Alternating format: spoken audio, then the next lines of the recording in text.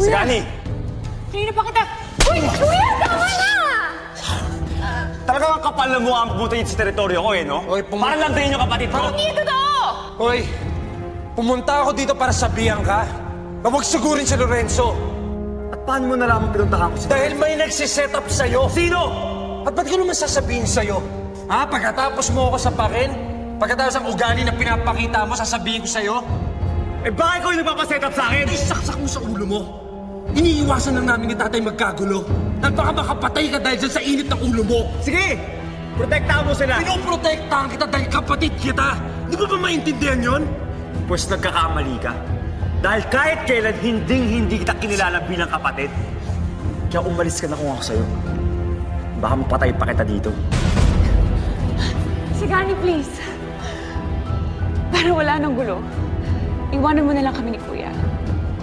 Tapos hindi ko kakayanin, masasaktan ka ng gago. O anong gagawin mo? Magagawin ka? Bilisan mo! Puro ko salita eh.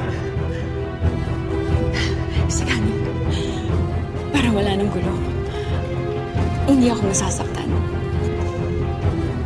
Kaya ko sarili ko. Lang ako, sabihin mo ako kung may mangyari. Ha? Umalis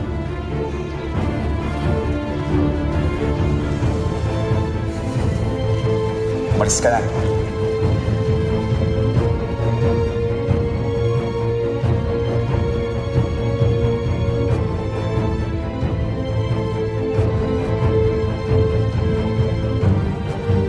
Thank you for watching Los Bastardos. For more videos, subscribe to ABS-CBN Entertainment YouTube channel and click the I button.